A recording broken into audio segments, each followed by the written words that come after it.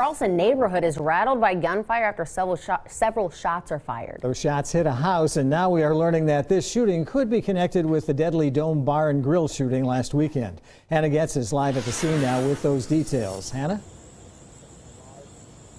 Jack and Marilee, Charleston police say that at least seven shots were fired into this home behind me here on the east end. Now, no injuries were reported, but Charleston police tell us that the home belongs to a family member of the suspect in a deadly shooting from Sunday outside of the Dome Bar and Grill in Kanawha City. Now, at this point, they believe this shooting may have been in retaliation to that incident. CPD are still looking for the suspect of the Gold Dome shooting, Joseph Lucas, and police say that he should be considered armed and dangerous. Now, as for this incident here. No arrests have been made here on scene, but we will make sure to keep you updated with the very latest. Reporting live in Charleston, I'm Hannah Getz, 13 News, working for you.